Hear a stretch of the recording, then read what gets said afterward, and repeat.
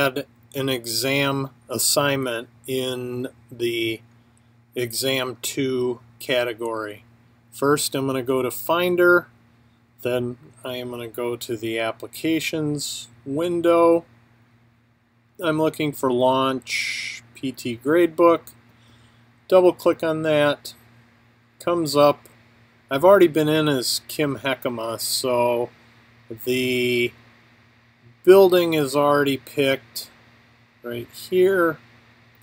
Kim Heckema's in there, and I'm going to put in her password. You, of course, would put in your own username and your own password. Come to here. Up, oh, I need to, I have another session open somewhere else on my screen, so I'm going to terminate that one. Or Kim just logged in and I just terminated her.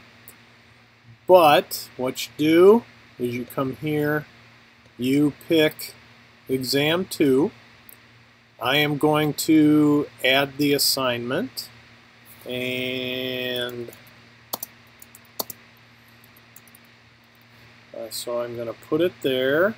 I am going to make this category a test quiz with 100 points and then the key thing is to put in a date which is the exam date and I think I have one right there.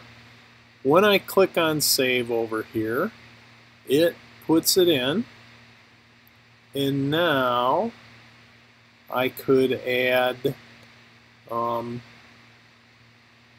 the classes that are needed. So you can add I don't know whatever needs to go in there I'm going to get rid of this now. I'm going to hit delete and return Kim to the way that she was. If you have any questions, please let me know. Thanks.